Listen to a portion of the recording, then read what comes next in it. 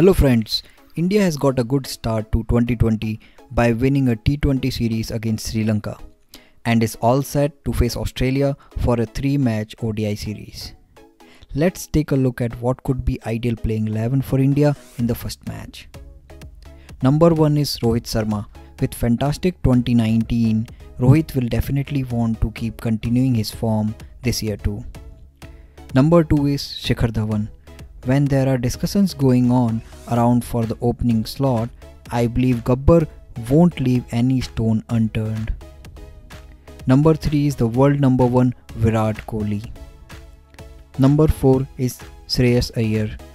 Shreyas has got great opportunity to fill the gap of number 4 in the team and has already done excellent with his 6 half centuries in 10 innings he has played so far.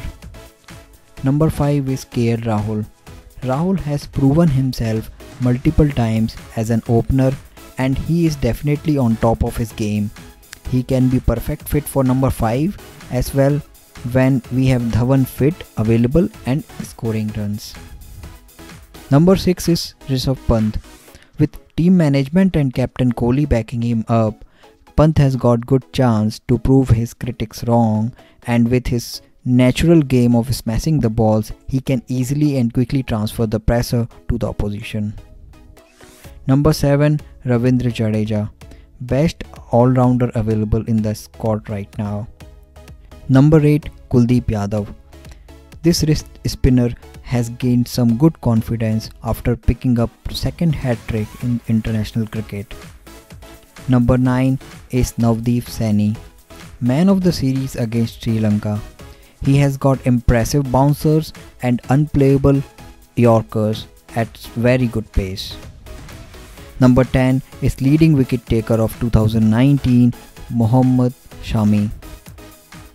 He has been rested in T20 series against Sri Lanka.